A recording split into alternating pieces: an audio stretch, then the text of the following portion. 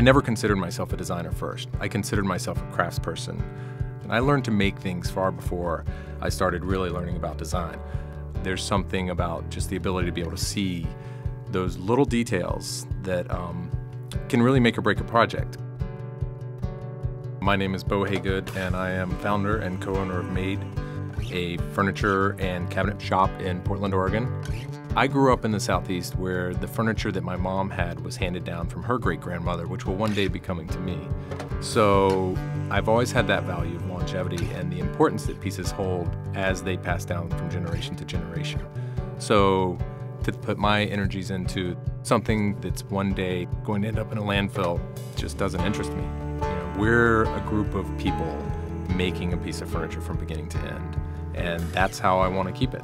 You know, putting the time and the effort to make things right, picking good materials that will last forever, picking good hardware that's engineered to last forever, and then using good quality joinery that I know will last forever.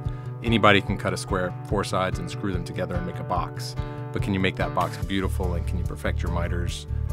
Getting to that level of perfection is just where I really find the pleasure of woodworking.